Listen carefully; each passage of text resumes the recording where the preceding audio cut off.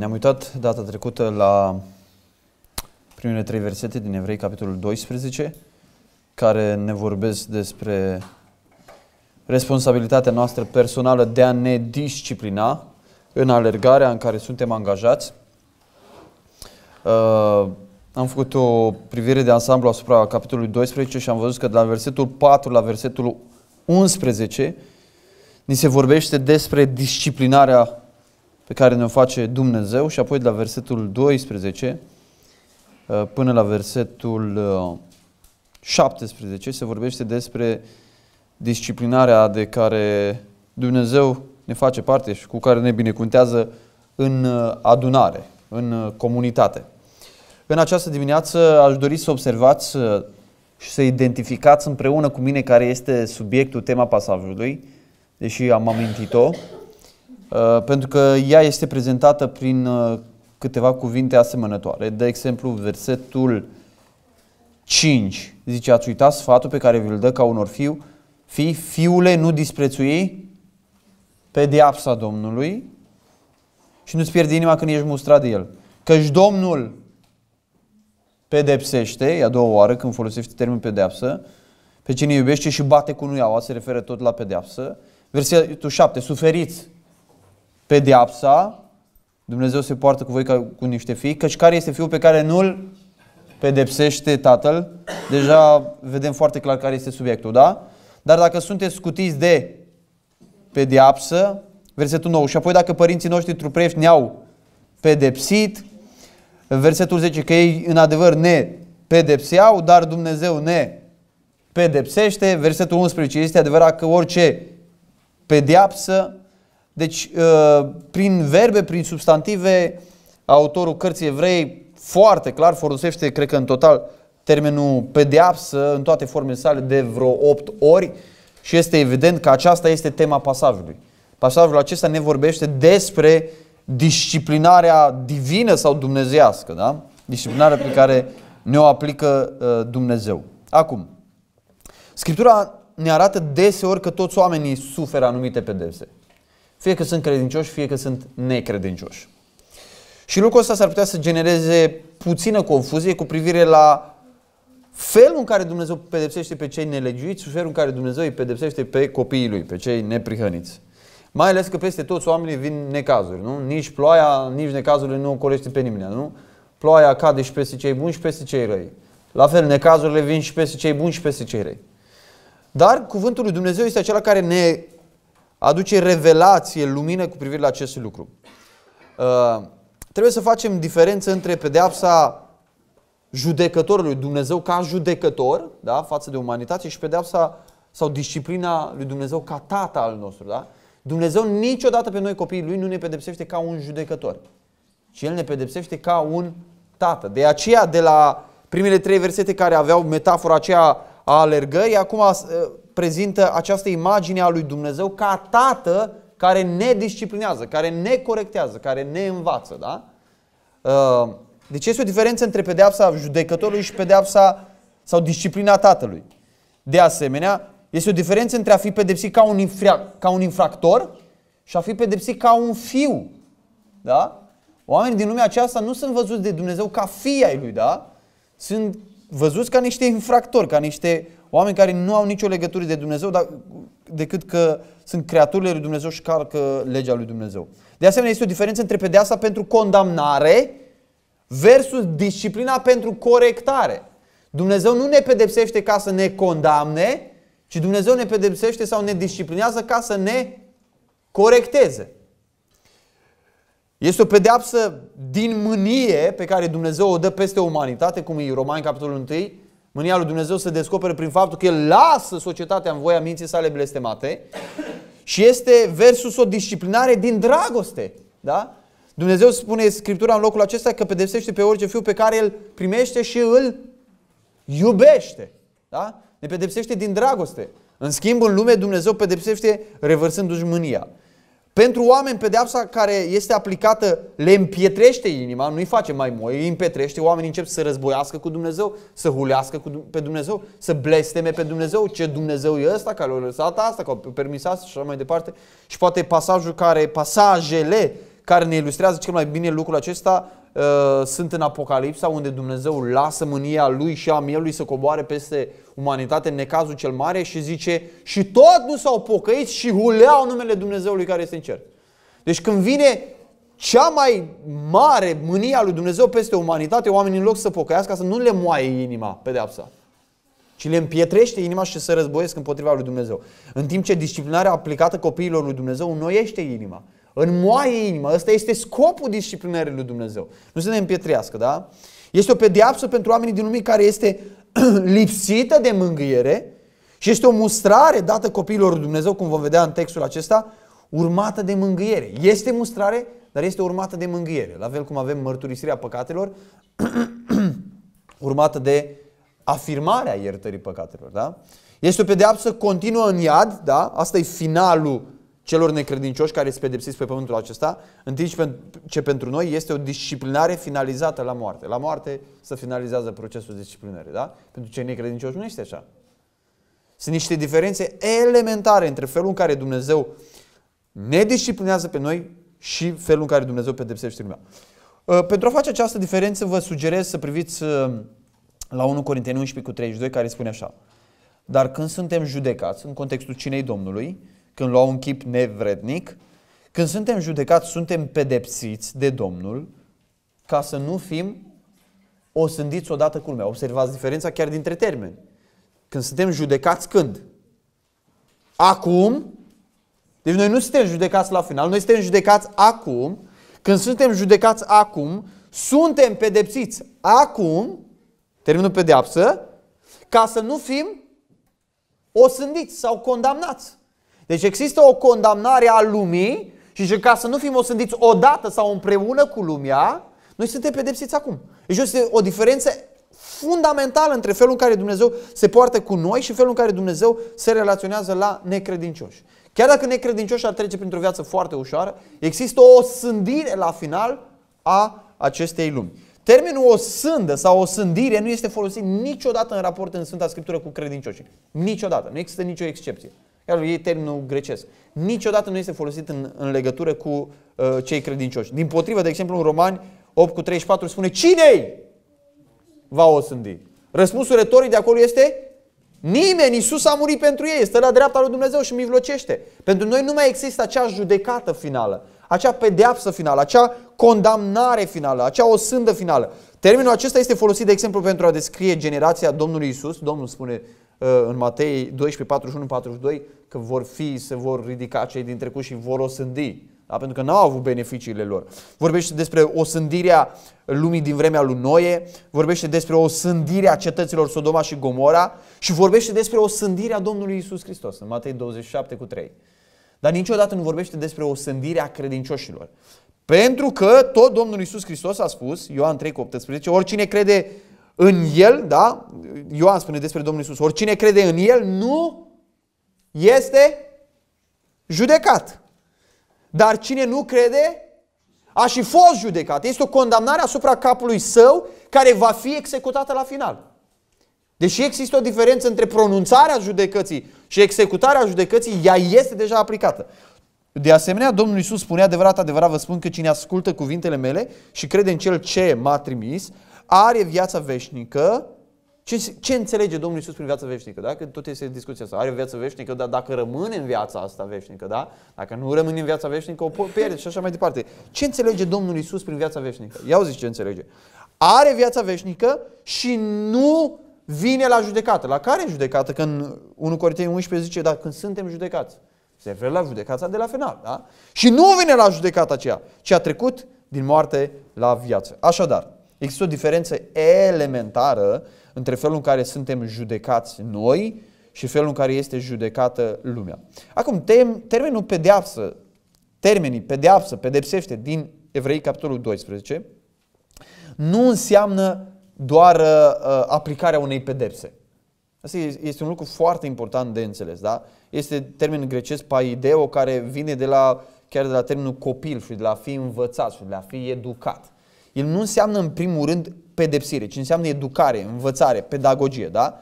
Este clar că în acest proces de pedagogie, care este implicat un copil, uh, se, este conținut și elementul disciplinării sau a pedepsei, da? a corectării. Dar este un proces larg de disciplinare. Da? Dacă procesul disciplinării uh, aplicat unui copil e doar nu fă, fă, bang, și treburi din astea, aia nu e disciplinare, da? Ăla este abuz. Ăsta e cuvântul, abuz. Da? În contextul unei disciplinări largi, în care se aplică tot felul de metode, există și aspectul corectiv. Da? Exact termenul acesta, ă, care este folosit în tot pasajul din Evrei 12, este termenul de învățătură, de, de educare, de pedagogie, în care este conținut și aspectul disciplinării, aspectul bătăii. Da? Vom vedea imediat cum se raportează Dumnezeu la noi. Dar uh, trebuie să, înțelegi, să înțelegem uh, uh, cele, toate aspectele a ceea ce implică disciplinarea și să nu ne gândim doar la cuvântul pedeapsă. Dumnezeu mă bate. Asta, la asta se referă textul că Dumnezeu îmi dă cu noi. Deci asta să o învățăm cum ne bate Dumnezeu. Nu despre asta, da? Implică și acest lucru, dar implică un proces mult mai larg, da? Traducerea termenului paideias în orice, în orice dicționar sau interliniar și așa mai departe, traducerea asta traducerea noastră cu pedeapsă este nefericită și pentru că transmite senzația că avem de-a face cu aplicarea unei pedepse, da? care e o chestiune punctuală. Domnule, ai aplicat pedeapsa, l-am disciplinat. În timp ce termenul acesta ă, conține un aspect procesual al disciplinei, da? un aspect de lungă durată. Da? Când Scriptura ne poruncește să ne educăm copiii noștri, să-i învățăm ă, și să-i creștem în disciplinarea și învățătura Domnului. Acum nu se referă, domnule, când au greșit, bang, i dat una, gata, l-ai educat în disciplinarea Domnului. E o prostie. Ăla e abuz. Chiar dacă îl facem un abuz ăla. Nu la asta se referă textul. Pavel când spune, băi, când o greșit, dă Bun, l-ai disciplinat, slavă Domnului, ești pe calea bună. Nu despre asta vorbește Apostolul Pavel, da? Sper, sper că e clar. De aceea să nu preluăm sau să importăm conceptul ăsta de bătaie românească balcanică asupra textului biblic și spunem, da, la ce se referă Evrei 12? Ce tare, Doamne, nu mai lua pe noi cu să despici firul acolo în patru, că se referă clar. Când am greșit, Dumnezeu mi-a dat. Trebuie să mă aștept să coboare din cer. Nu la asta se referă.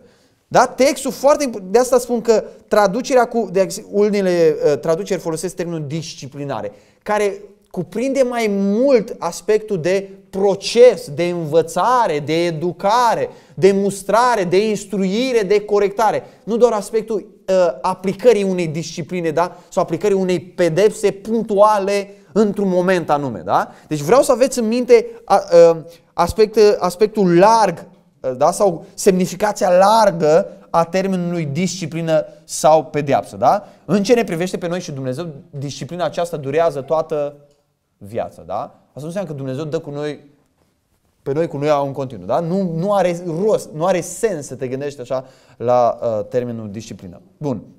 Disciplinarea poate fi atât corectivă cât și preventivă. Și este important să înțelegem lucrul ăsta. De ce? Pentru că de multe ori Dumnezeu ne trece prin anumite evenimente din viața noastră și ori le punem pe șansă și întâmplare, domnule, n-am greșit nimica. Domnule, așa e în lumea asta plină de necazuri. Nu există așa ceva. Ascultați-mă. Nu există așa ceva. Deci dacă tu nu ai păcătuit și treci printr-un necaz, printr-o situație grea, teribil de grea, și zici, domnule, nu am păcătuit, nu are sens ca Dumnezeu să mă fi pedepsit. Tu nu trebuie să înțelegi din asta că Dumnezeu nu te are în vedere și nu vrea să facă ceva în viața ta atunci. Că nu te afli într-un procesul de disciplinare. Toate lucrurile lucrează spre binele celor ce iubesc pe Dumnezeu, toate lucrurile negative, chiar dacă nu ai păcătuit. Da? Uh, avem, de, avem câteva exemple în Biblie care ne arată lucrul acesta. Diferența dintre preventiv și corectiv. De exemplu, în 2 Corinteni 12 cu 7, Pavel spune, și ca să nu mă umfă de mândrie, din pricina strălucirii acestor descoperiri, mi-a fost pus, i s-a implantat acolo un țepuș în carne, un sol al satanei, ca să mă pălmuiască și să mă împiedice să mă îngăv. E ca și cum, după ce ai avut o predică bună, ai coborât și un frate te ia. Bang, bang, bang, bang, bang, bang. Te-a terminat. Bă, frate, dar care treaba? Acum trebuia să primesc laurii, să primesc blaudele, să primesc aprecierile, să primesc încurajările. Nu? No? Ca să nu te îngânfi, da? Dumnezeu îi dă niște descoperiri extraordinare lui Pavel. Pavel nu se îngânfă, dar spune preventiv, ca să nu te îngânfi, un sol al satanei, un țepuș în carne, ca să-l prevină de la ajunge acolo, da? Așadar, trebuie să înțelegem că atunci când Dumnezeu ne trece prin tot felul de situații, uh, prin tot felul de circunstanțe, prin tot felul de necazuri, în viața noastră, Dumnezeu nu intenționează doar să corecteze anumite lucruri din noi, ci Dumnezeu să prevină anumite din lucruri din viața noastră, da?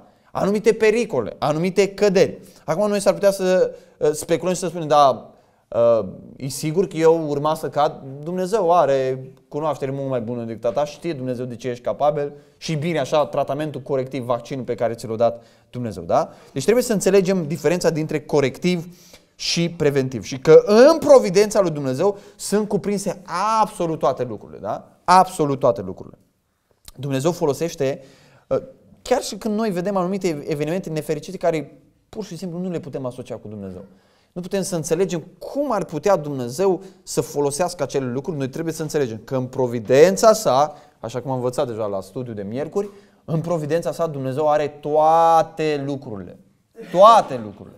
Cele mai mari dezastre care au loc pe planeta Pământ și cu care noi avem contact sunt în providența lui Dumnezeu. 1 Corinteni 5 cu 5. Am hotărât ca un astfel de om să fie dat pe mâna satanei pentru nimicirea cărnii. Am găsit o pedeapsă mai ușoară. Chiar să dai Gândiți-vă dumneavoastră, chiar să-l dai pe mâna satanei? Ca Duhul lui să fie mântuit în ziua lui Hristos. 1 Timotei 1 cu 20. Din numărul lor sunt Timeneu și Alexandru pe care i-am dat pe mâna satanei ca să învețe, e același termen, ca să învețe, să fie educat, să fie disciplinat, să nu hulească. Iov 2 cu 6. Domnul a zis satanei, iată ți-l dau pe mână, după ce spune că îi dă toate lucrurile lui Iov pe mână și știți că satana s-a ocupat foarte bine de lucrurile lui Iov, de familia lui Iov, da? Ți dau, ți-l dau pe mână, numai cruțe viața. Și satan a plecat dinaintea Domnului. Apoi a lovit pe Iob cu o bubă rea din talpa piciorului până în creștetul capului. Și el își ia un ciop și să freacă. Ce ziceți? Și este clar din uh, narațiunea cărții Iov că Iov nu păcătuise împotriva Domnului și că Dumnezeu n-a lăsat mega tragedia aceea dintr-o, dintr-o prostie a lui Iov, dintr-o nelegere pe care a comis-o Iov. Da? Bun. Acestea fiind spuse, introductiv, înțelegând, o, având o imagine de ansamblu creionată rapid asupra ceea ce face Dumnezeu prin disciplinare, că El lucrează și corectiv și preventiv și că în providența Lui cuprinde toate lucrurile ca să lucreze spre binele nostru, chiar și cele mai mari nenorociri, haideți să ne uităm la ceea ce spune textul acesta despre disciplinarea lui Dumnezeu. Ver, uh, începem cu versetul 4 care spune Voi nu v-ați împotrivit încă până la sânge în lupta împotriva păcatului, acolo este de fapt un verb Uh, și traducerea ar fi mai corect așa, de exemplu, în 2001 zice, voi nu v-ați împotrivit încă până la sânge, luptând împotriva păcatului, da? Luptând împotriva păcatului. Acum vreau să observați în primul rând că oamenii aceștia și noi se aflau deja într-un conflict cu păcatul, corect?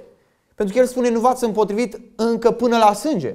Dar ei se împotriveau în lupta păcat, luptând împotriva păcatului, da? Dar nu s-au împotrivit până la sânge, da? Deci ei se aflau într-un conflict. De exemplu, în Evrei 10 cu 32 ni se spune foarte clar până unde s-au împotrivit ei. Aduceți-vă aminte de zilele de la început, că după ce ați fost luminați, ați dus o mare luptă de suferințe. Pe de o parte erați puși ca priveliște în mijlocul ocărilor și necazurilor și pe de alta v-ați făcut părtași cu aceia care aveau aceeași soartă ca voi.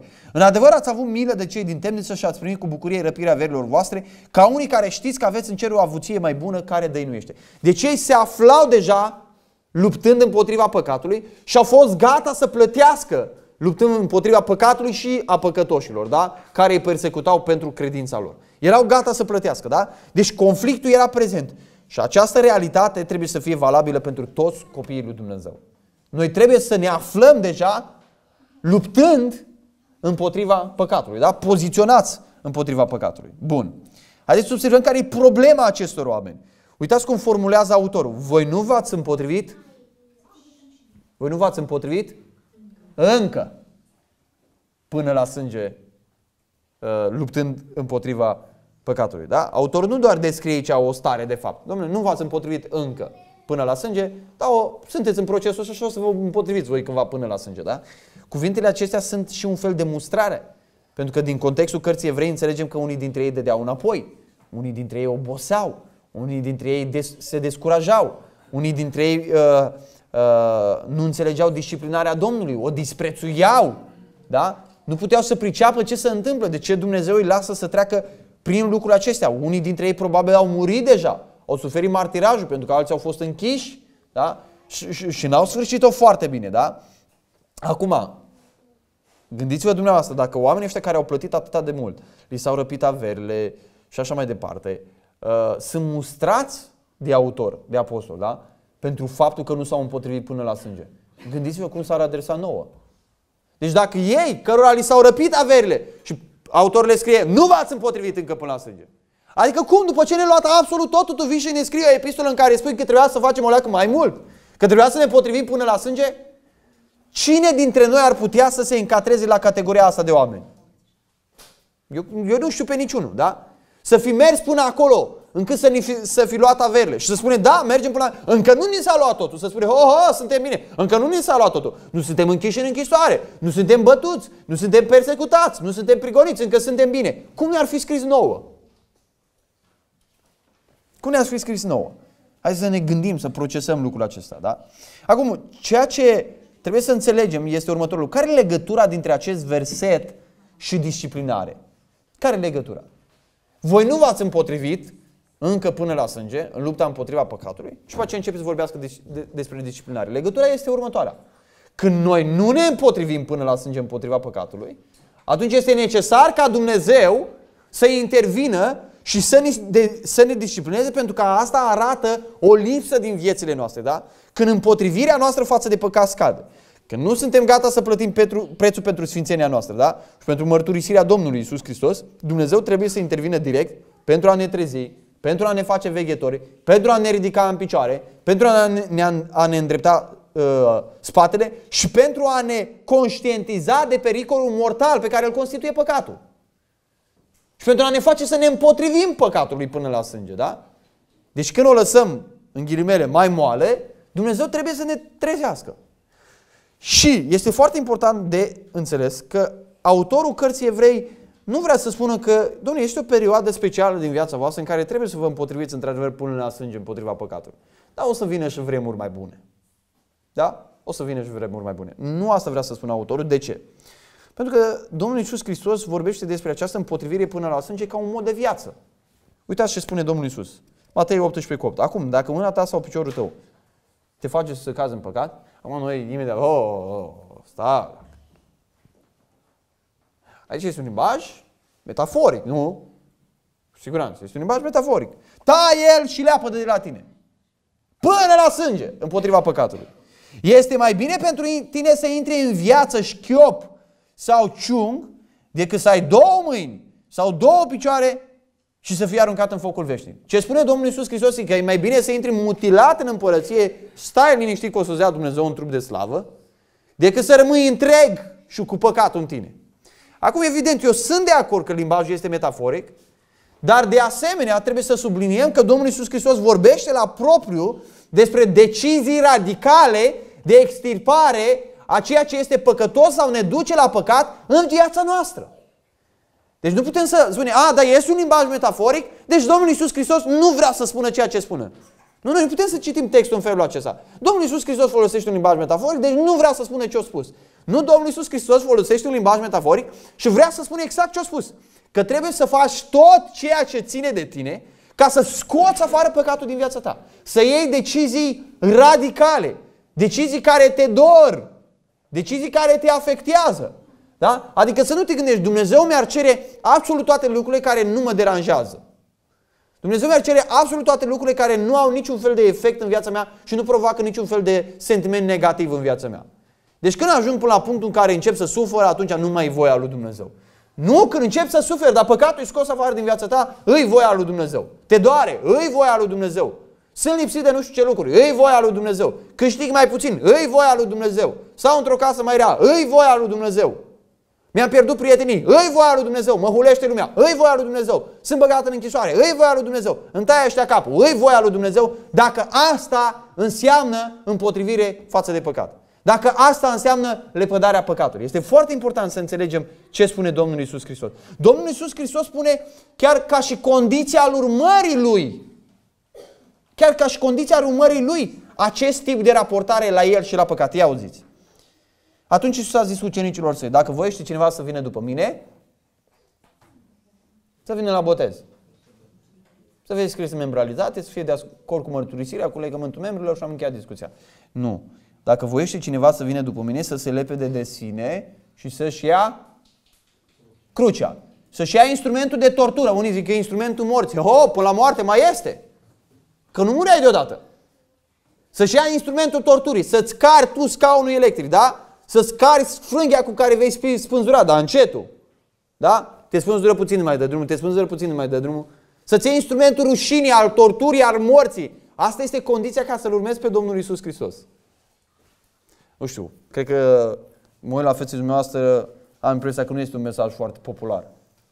Și nu o să strânească foarte multă simpatie, nu? Asta a fost condiția primară pusă de Domnul Isus ca să-L urmăm pe El, ca să intrăm pe cale. Și am văzut deja, acesta este prețul pe care trebuie să-l plătim ca să umblăm pe această pe cale. Nu doar ca să intrăm pe ea, ci ca să umblăm pe ea. Da? Să dăm la o parte absolut tot cu violență, radical, cu lepădare, cu scârbă, tot ce este păcătos, tot ce ne-ar putea separa uh, de Dumnezeu. Acum, când spune autorul, voi nu v-ați împotrivit încă, li se arată într-un fel și un privilegiu pe care îl experimentau din partea lui Dumnezeu. Pentru că înseamnă că puteau să fie experimentat mai mult din persecuție, da? Dar încă n-au experimentat până la sânge. N-au experimentat martirajul pe care alții l-au experimentat înaintea lor. Da? Martirajul pe care l-au experimentat mulți din norul acela mare de martor. Tăiați în două cu fiere strău, da? Uciși, ă, aruncați la fiare și așa mai departe, da? Deci este un, și o încurajare pe care le-o dă Dumnezeu, pentru că nu li s-a dat încă tot ceea ce le se putea da, da? Dar, evident, eu cred că este o mustrare pentru noi în fața plângerilor banale pe care le avem, pentru situații nesemnificative prin care trecem, da? Când spune, voi nu v-ați împotrivit încă până la sânge. Păi stai că nu ne-am împotrivit nici... Nu? Este un fel de mustrare pentru situațiile nesemnificative pentru care noi ne plângem, da? Situații banale pentru care ne plângem. Nu ne plângem pentru situații banale. O, cu siguranță că ne plângem pentru situații banale. Ne, ne plângem pentru niște pantofi, ne plângem că n-am apucat să ne luăm nu știu ce accesorii până duminică când trebuia să ne ducem la adunare, plângem pentru tot felul de lucruri. Da? Și când citești acest cuvânt, voi nu v-ați împotrivit încă până la sânge, luptând împotriva păcatului, ce putem să înțelegem altceva decât că trebuie să ne smerim, trebuie să ne smerim și să înțelegem poziția în care Dumnezeu vrea să ne aflăm față de păcat. Termenul împotrivit, termenul împotrivit, înseamnă, uh, înseamnă a te așeza într-o poziție uh, contrară la ceva. Da? Avea o anume poziție. Da? Și eu cred că asta este un test foarte important chiar al nașterii din nou. Pentru că uh, dovada nașterii din nou nu doar este succesul nostru împotriva unor păcate sau obiceiuri proaste. Da? Am un succes, domnule, am reușit să mă las de anumite obiceiuri, am reușit să mă las de anumite vorbe, am reușit să mă las de anumite lucruri păcătoase, foarte bine. Da? Ai ajuns la un anumit grad de moralitate. Întrebarea este care este poziția ta spirituală? De cum ești tu poziționat? Da? Dacă ești așezat, poziționat împotriva păcatului. Deci este important cât succes ai. Da? Cât ai progresat. Dacă te afli în ascensiune. Dar mai important decât asta este dacă ești poziționat corect împotriva păcatului. Dacă ești așezat împotriva păcatului. Da? Pentru că s-ar putea ca un om să iubească anumite păcate și să renunțe la alte. Pentru simplu fapt poate că intră în conflict cu alea pe care le iubește el atunci. Da? Este posibil ca un om să lase anumite păcate și să ia altele. Și n-ai făcut nicio treabă. Da? Întrebarea este dacă ființa mea, dacă sufletul meu, dacă viața mea duhovnicească, dacă eu ca persoană sunt poziționat împotriva păcatului. Da? Sunt așezat împotriva păcatului. Da? Dacă asta este poziția mea, dacă sunt cu spatele la păcat și sunt gata să mă împotrivesc, uh, să mă împotrivesc lupii. Uh, termenul luptă sau luptând este antagonizomai care e foarte simplu. Uh, noi avem termenul antagonic, da? A fi împotriva, a fi în conflict, a fi în luptă. Da? Uh, și ne arată foarte clar ideea de luptă intensă, de conflict, da? de, de dificultăți, pericole, dușmani, necesitatea împotrivirii, a conflictului, a luptei, a râvnei. Da? Asta este uh, viața noastră, din asta este constituită întreaga noastră viață. Legătura dintre aceste lucruri, această luptă și disciplina lui Dumnezeu este simplă. Când noi nu mai luptăm, când noi nu mai ne împotrivim păcatului, când noi nu plătim prețul, Dumnezeu este necesar să coboare cu jordea. Da? Când eu nu lupt, când eu nu dau tot ce pot să dau prin puterea lui Dumnezeu în lupta împotriva păcatului, atunci Dumnezeu este necesar ca să intre cu disciplinarea uh, divină. Acum când zice că n-am plătit până la sânge, uh, textul nu vorbește aici despre sângele Domnului Isus, ci de sângele nostru.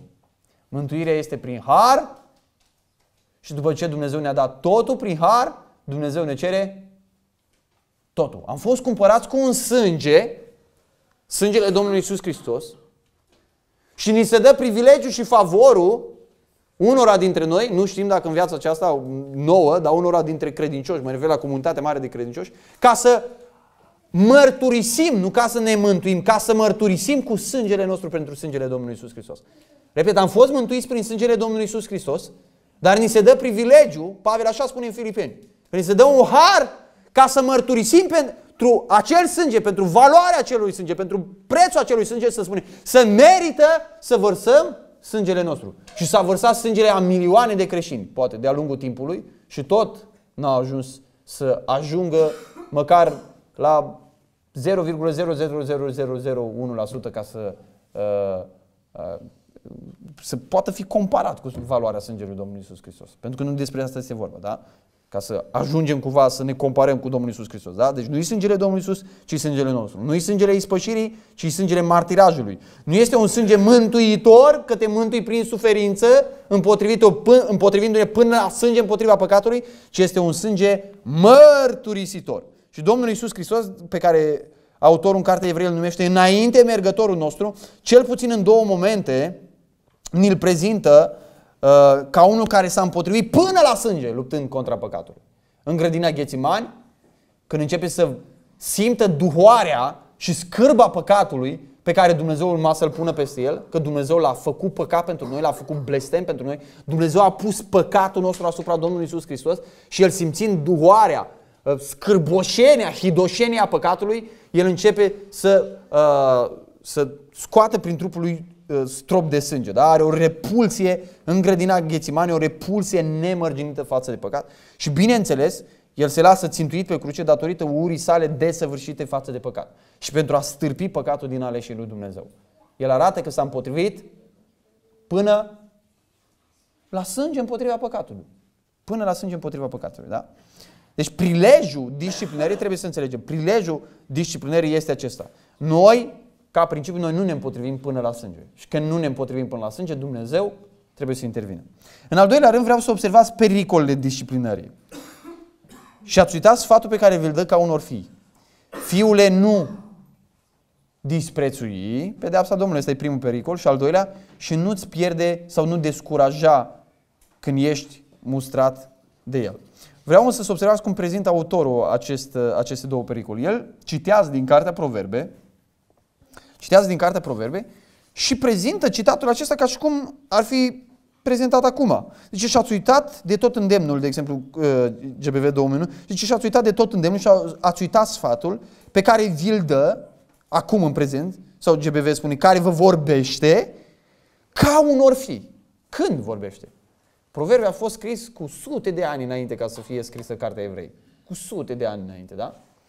Uh, deci autorul cărții Evrei spune că atunci când treci prin disciplină, prin necazuri, prin suferință, ar trebui să te duci la cuvântul lui Dumnezeu. Ca să-ți înțelegi dificultățile, suferința sau necazul, ar trebui să te duci la cuvântul lui Dumnezeu. Cuvântul lui Dumnezeu care este transcendent, deși a vorbit cu sute de ani înainte, este prezentat acum ca un cuvânt prezent. Transcende culturi, transcende religii, transcende rase, transcende societăți, transcende timpul.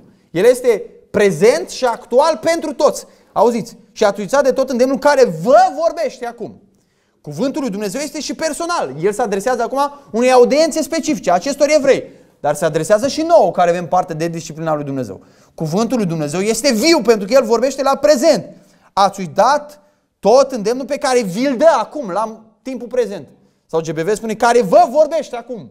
Nu ne vorbește, ca unor fi. Deci noi nu venim în casa lui Dumnezeu, în locul acesta, nu venim la închinare ca să ascultăm predici sau discursuri sau ca să primim informații. Noi venim aici ca să-L ascultăm pe Dumnezeu vorbim.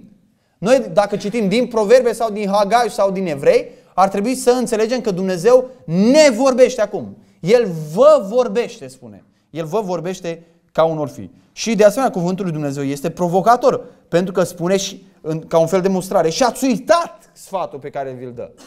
Ați uitat cartea Proverbe, care a fost scrisă cu sute de ani înainte. Ați uitat îndemnul, ați uitat sfatul, da? Cu alte cuvinte, atunci când citesc cuvântul lui Dumnezeu, eu sunt responsabilizat. Și dacă nu mă comport așa cum îmi spune cuvântul lui Dumnezeu, sunt responsabil de lucrul acesta. Spune, ai uitat uh, Proverbe 3 cu 12. Oh! Pe ce trebuia să ții minte Proverbe 3? Da, trebuia să ții minte. Că era, ți era scris ție. Păi n-a fost scris cu sute de ani înainte prin Solomon? Ba da, a fost scris și pentru tine. Da? Cuvântul lui Dumnezeu este viu, este lucrător, este personal, este transcendent și ne provoacă, ne responsabilizează. Care sunt cele două pericole? Cele două pericole sunt disprețul și descurajarea. Sau, cum zice Cornilescu foarte, foarte metaforic aici, uh, a ne pierde inima. A disprețui și a ne pierde inima. Uh, sau a descuraja. A disprețui înseamnă a privi un lucru ca nepotrivit, nefolositor sau dăunător. În cazul acesta, disciplina lui Dumnezeu.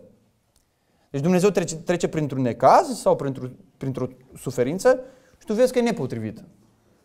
Acum, e posibil ca de fiecare dată când trecem printr-un necaz, noi să considerăm că e nepotrivit, că e nefolositor, dacă e dăunător pentru noi. Asta înseamnă să disprețuiești lucrarea lui Dumnezeu.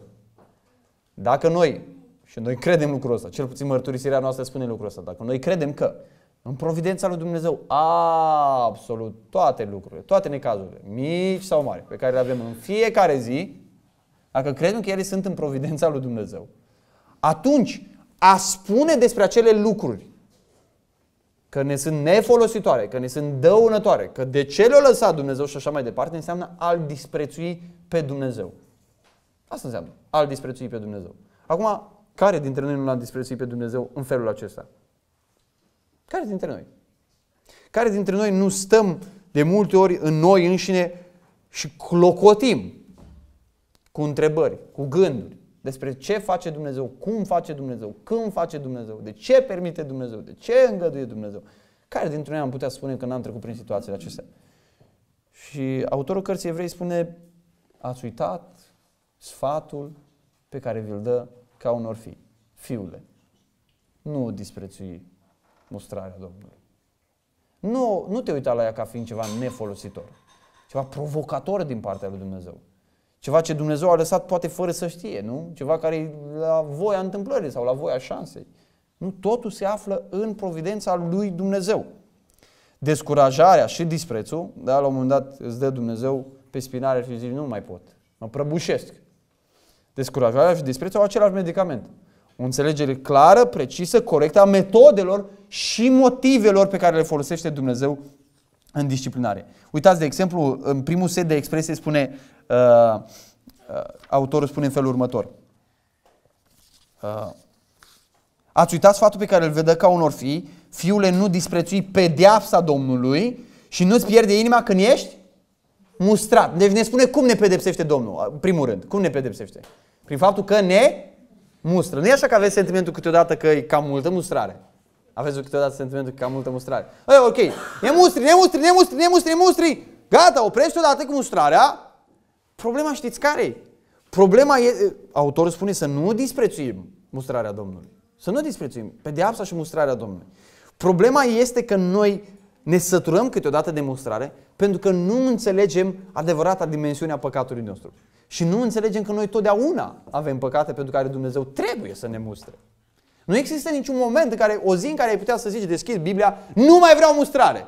Azi nu am nevoie de la Dumnezeu de niciun fel de mustrare. Că n-am făcut nimic vrednic de mustrare, domnule. Ai putea să spui așa? Eu nu. Eu nu. Dumnezeu poate să ne mustre tot timpul pentru că are motive să ne mustre.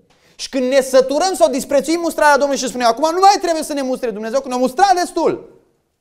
Arătăm că nu avem o înțelegere corectă a sfințeniei lui Dumnezeu și a uh, caracterul letal al păcatului nostru pentru viața noastră spirituală.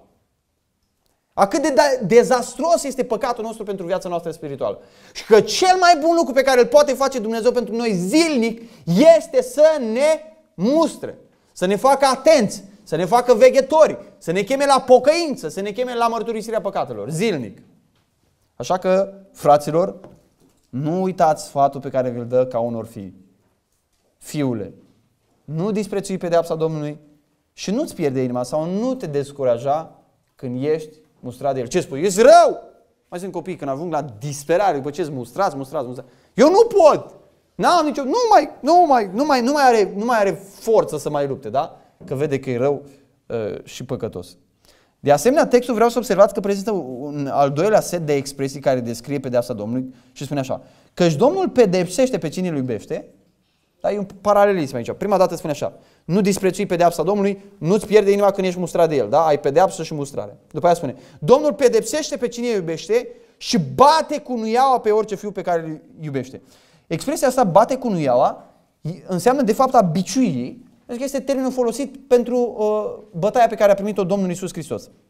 Și traducerea GBV 2001 chiar așa folosește. Zice așa, pentru că Domnul îi disciplinează pe acela pe care îl iubește și biciuiește pe orice fiu pe care îl primește. Acum nu știu cum vă imaginați dumneavoastră bătut cu nuiaua până acum în Cartea Evrei când citeați versetul acesta, în ce fel ne bate Dumnezeu cu nuiaua, așa, ne dă o jor de simbolică numai ca să ne facă atenți. Spune că Dumnezeu biciuiește pe orice fiu pe care îl uh, primește, da? Ce este interesant de observat aici nu este doar faptul că Dumnezeu vrea să ne facă să simțim consecințele păcatelor noastre. El nu vrea să ne plătim pedeapsa păcatelor noastre pentru că nu putem și a plătit-o Domnul Iisus Hristos, da? Deci nu putem și a plătit-o Domnul Iisus Hristos. Dar El vrea să simțim cât de rău este păcatul. El ne corectează, ne disciplinează, făcându-ne să suportăm niște consecințe ale păcatelor noastre. Ce este important de observat pentru noi și ce este de fapt medicamentul, cum am spus, pentru descurajare și pentru dispreț, este faptul că disciplinarea lui Dumnezeu nu este un semn al mâniei lui Dumnezeu și al faptului că Dumnezeu ne abandonează, ci din potrivă, din potrivă este un semn că Dumnezeu ne iubește și că Dumnezeu ne primește. Ca asta spune. Dumnezeu disciplinează, Domnul disciplinează pe acela pe care îl iubește și biciuiește pe orice fiu pe care îl primește. Da? Este un lucru important pe care trebuie să-l înțelegem. În momentul în care Dumnezeu ne trece prin necazuri, prin suferințe, poate gândul carnal, aș spune chiar satanic, care ne trece de foarte multe ori, este că Dumnezeu nu ne mai iubește. Nu mai suntem în favorul lui Dumnezeu. Am păcătuit prea mult, prea grav și Dumnezeu ne-a abandonat. De asta ne bate cu nuiaua. Autorul spune nu de asta te bate cu nuiaua Dumnezeu. Nu de asta te-o trecut prin necaz, prin suferință. Ci din potrivă, Dumnezeu te trece prin necazul acela pentru că te iubește. Spune, păcătuit. A, nu mai sunt născut din nou. Cu, cu, cu ăștia născut din nou, n-ar trebui să păcătuiască. Nu spune Biblia că dacă sunt născut din nou nu păcătuiește, cel păcătuiește. Și cine păcătuiește este de la diavol. Și uite, Dumnezeu o dat necazul ăsta, o dat dezastrul ăsta în viața mea, tragediile astea. Tot bate an după an Dumnezeu pe mine. Bate, bate, bate, bate. Ăsta e Dumnezeu care mă iubește. Da, eu cred în Dumnezeu, dar dacă Dumnezeu m-ar iubi, Dumnezeu m-ar cocoloși, Dumnezeu m-ar lua în brațe, Dumnezeu mi-ar vorbi frumos, Dumnezeu nu doar m-ar mustra. Eu de fiecare dată auzi mustrarea Domnului și an după an Dumnezeu cu nu ia după mine. Dumnezeu nu mă mai iubește, Dumnezeu m-a abandonat. Poate niciodată n-am fost copilul lui. Și încep să chestionez tot felul de lucruri când autorul spune foarte clar, fiule, ai uitat sfatul. Nu disprețui mustrarea Domnului. Nu descuraja când ești bătut. Că El bate cu nuiaua pe orice fiu pe care îl iubește. Pedepsește pe orice fiu pe care îl primește. De asta face Dumnezeu. Când dacă n-ai fi fiul lui, Dumnezeu n-ar face lucrul ăsta cu tine. Eu mă duc câteodată în mall sau mă duc câteodată în Lidl sau mă duc în Carrefour și aproape de fiecare dată vezi câte o doamnă, câte un prunc care să țipă cu fundul de pământ că vrea un lucru și ură. A, și atunci să merește să intru eu. Nu știu cum nu au făcut înainte scandal. Și atunci am vine să mă duc la el și să spun, Puh, dacă era al meu. Dar nu mă duc niciodată, n-am disciplinat pe niciunul. Mama din reflex câteodată mai, mai făcea câte o repriză, dar uh, alea vremuri de mult apuse, acum nu-ți mai permiți. Să faci nici cu a tăi, da, cu, al, da păi cu alții. Nu pot, eu nu pot să disciplinez pe altul, da? N-am voie să disciplinez pe altul. N-am voie să mustru pe altul. N-am voie să trimit la colț pe altul. N-am voie să interzic la altul. Îi spun, de a... mă, te uiți la desene? Da. De azi nu mai ai voie la desene. Ce o zică pruncul ăla? Sună de tine.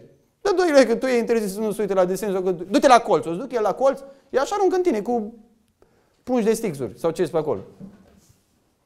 Scriptura ne arată foarte clar că disciplina, mustrarea, bătutul cu nuiaua, da? Este un mod metaforic în care Scriptura ne vorbește despre faptul că Dumnezeu ne face să simțim chiar fizic consecințele păcatului nostru sau ne educă Dumnezeu, ne instruiește preventiv, chiar fizic, ca să ne ferească de anumite nenorociri ale păcatului. Da? Pe lângă lucrul acesta, disciplina este o dovadă a iubirii lui Dumnezeu, a faptului că El ne primește. Uitați-vă în al treilea rând la principiul disciplinării. Care e principiul? Se continuă aceeași temă. Suferiți pedeapsa, da? sau supuneți-vă, răbdați disciplinarea. Dumnezeu se poartă cu voi ca și cu niște fii. Căci care este fiul pe care nu-l pedepsește tatăl? Auziți argumentul lui. El ne expune întâi principiul, da? Zice așa. Dumnezeu se poartă cu voi ca și cu niște fii. Asta e principiul. Da? Dumnezeu se poartă cu voi ca și cu niște fii. Asta e premiza de lucru a autorului. Apoi el spune, exemplifică principiul ăsta în viața familiei, da? Că e foarte ușor să înțelegem. Și spune, care este fiul pe care nu-l pedepsește tatăl? Răspunsul este, nu este un asemenea fiu pe care nu-l pedepsește tatăl. După ce exemplifică principiul ăsta, în final autorul extinde principiul la noi și spune, dacă sunteți scutiți de pedeapsă de care toți au parte, sunteți niște fii născuți în curvie. Da? Adică nu sunteți fii legitimi ai tatălui. Da? Argumentul autorului este că nu există niciun fiu disciplinat de tată. Când ești pedepsit, ar trebui să-ți aduci aminte și lucrul ăsta. Da și Mihai e pedepsit. Da și Andrei e pedepsit. Da și Radu e pedepsit. Da și Cristi e pedepsit și sora Luliana e pedepsită și fratele Ciprian e pedepsit. Toți sunt pedepsiți. Toți care sunt copiii lui Dumnezeu sunt pedepsiți. Asta e principiul. Care, întreabă autor, care e fiul ăla care nu e pedepsit? Răspunsul este niciunul. Toți fiii sunt pedepsiți. Toți fiii sunt pedepsiți. Mai mult decât atât, da? în al patrulea rând vreau să vă uitați la proba disciplinării. Disciplinarea lui Dumnezeu este o probă pentru noi foarte importantă. Elementar, aș spune, care exclude. Care exclude, eliminatorie. Auziți ce important. Dar dacă sunteți scutiți de pedeapsă, din nou spune, de care toți au parte, sunteți niște feciori din curvie sau feciori ilegitimi, iar nu fi. Da? Dacă sunteți fără disciplinare, de care toți au parte, sunteți nelegitimi. Nu sunteți fii. Nu sunteți copiii lui Dumnezeu, da? Discursul autorului pare să ajungă aici la un punct climax, deoarece el leagă disciplinarea de nașterea din nou. De, de starea noastră spirituală, da? Pare o afirmație foarte brutală. Foarte brutală. Dar care este necesară pentru că prezintă un test foarte important, eliminatoriu al relației noastre cu Dumnezeu sau al nașterii noastre din nou. Da? Scriptura ne arată mai multe pasaje că cei răi par să aibă o viață mult mai bună decât a noastră.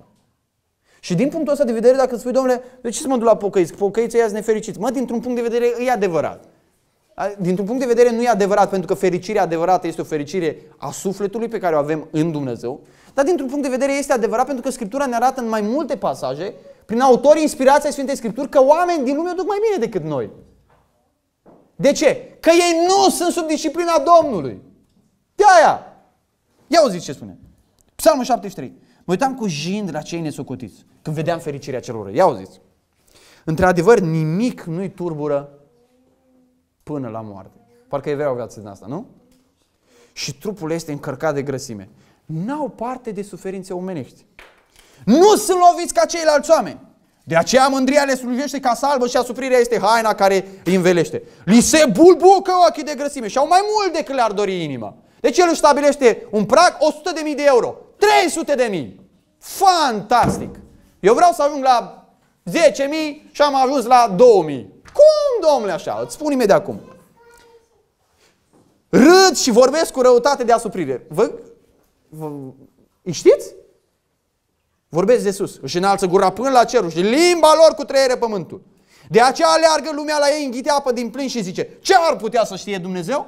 Și ce ar putea să cunoască cel prea înalt? Ăștia sunt oamenii din lume. Și autorul inspirat spune, m-am uitat și mă uitam cu jind, cu invidie. Băi, de ce le se întâmplă la ăștia așa? De ce li se întâmplă acestor oameni așa? Răspunsul pe care ne-l dă autorul evrei este că ei nu sunt fii legitimi. De aia nu sunt disciplinați. Nu sunt bătuți cu noiaua. Dumnezeu nu are un interes pentru ei. Și asta ar trebui să-ți fie, să fie groază. Să fii terorizat dacă trăiești în păcat și Dumnezeu nu pune nuiaua pe tine. Ar trebui să-ți fie groază de lucrul ăsta, nu să spui, yes, îmi place, sunt calvinist, am doctrină aru, eu nu pierd mântuirea și Dumnezeu mă lasă să trăiesc în păcatul meu. Nu ești nici calvinist și n-ai nici doctrina bună. N-ai nicio treabă cu realitatea. Că Dumnezeu disciplinează pe toți fiii pe care îi primește și bate cu noi pe orice fiu pe care îl iubește. Pe orice fiu pe care îl iubește. Este imposibil. Și în special pe calviniști bate. În al cincilea rând. Bate în special pe ei pentru că au doctrina corectă și au mai multă responsabilitate. Cu ei se dă mult, îi se cere mult și dacă nu face mult, și ea cu nu iau mult. Și apoi dacă părinții noștri, paralela, faci o paralelă al disciplinării, da? Prezintă un portret al disciplinării. Dacă părinții noștri trupești ne-au pedepsit și tot le-am dat cinstea cuvenită, nu trebuie oare cu atât mai mult să ne supunem Tatălui Duhurilor și să trăim? Acum nu știu ce disciplină ați avut dumneavoastră la părinții noștri, dar dacă vă prezint niște sceni în asta horror, o să înțeleg, poate eu înțeleg o leacă mai bine versetul ăsta. Dacă părinții noștri trupești ne-au pedepsit și tot le-am dat cinstea cuvenită, tot îmi iubesc părinții. Am luat bătaie cu urzica, cu nuiaua, cu furtunul de la mașina de spălat, cu, cu curiaua, și aia lată, și aia îngustă, cu leațul de la umeraș, cu uh, aia de bătut covoare. Cu ce vă imaginați dumneavoastră? Cu ala de învârtit la mămăligă, cu aia cu care gusta supica de lemn, cu coada. Ce vreți dumneavoastră? Cu cea unu, cu ce vă imaginați dumneavoastră? Și auziți! Și tot le-am dat cinstea cuvenită. nu e așa? Și tot le-am dat cinstea cuvenit. Nu trebuie are cu atât mai mult să ne supunem Tatălui, Duhurilor și să trăim aici, să facem o, o paralelă între respectul pe care trebuie să-l dăm părinților noștri trupești, care ne-au disciplinat așa cum au știut ei, da? Nu că n-au greșit, dar așa cum au știut ei, și supunerea pe care trebuie să o dăm lui Dumnezeu. Auziți, tot le-am dat cinstea cuvenită, i-am respectat, nu trebuie oare mai mult să ne supunem, să ne aplecăm sub pedeapsa lui Dumnezeu, să o acceptăm, să ne asumăm disciplinarea lui Dumnezeu, să ne asumăm necazurile. Da, Doamne, e bine că mă treci prin ele. Nu să spui, n-am ce face, suport că Dumnezeu, așa au spus ăștia, că în providența lui Dumnezeu toate lucrurile rânduite de Dumnezeu, n-am ce face. Nu așa. Nu așa. Să ne supunem, adică să accept, accept măsura de necaz pe care ne-a dat Dumnezeu astăzi. Accept măsura de necazuri pe care Dumnezeu mi le-a dat perioada asta. Accept suferința asta, să te supui să accepti, da? Să primești de la Dumnezeu cu inima deschisă, nu că n-ai ce face. Atunci disciplina lui Dumnezeu își face efectul în noi, când ne supunem ei.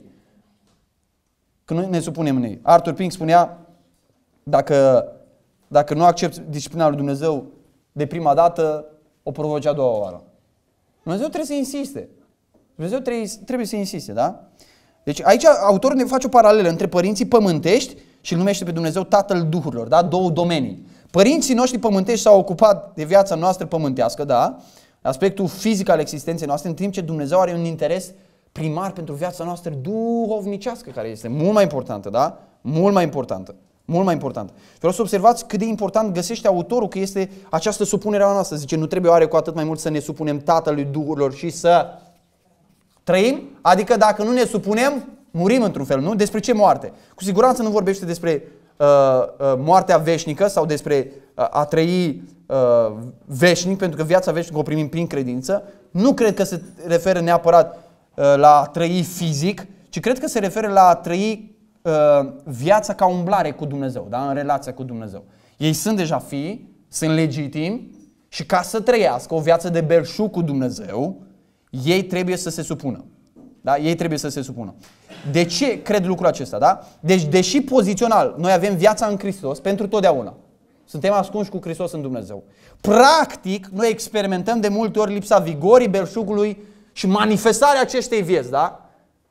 Cu câți ne întâlnim credincioși, câteodată, de multe ori, rar sau des, auzim experiența asta. Cum e, frate? Și îl vezi. Ploștit. Plăștit. Ia auziți, ă, înseamnă că e posibil să nu ne supunem disciplinării lui Dumnezeu. Trece prin necazul și nu ne supunem. Nu învățăm. Nu înțelegem ce se întâmplă acolo. Nu acceptăm de la Dumnezeu. Psalmul 32 cu 3, ca să înțelegem ce viață, despre ce viață vorbește aici. Să ne supunem, zice Tatălui Duhurilor și să trăim. Câtă vreme am tăcut, mi se... Era viu ăsta? Era viu. Era copilul lui Dumnezeu? Era. Câtă vreme am tăcut, mi se topeau oasele de gemetele mele necurmate. Psalmul 38 cu 2.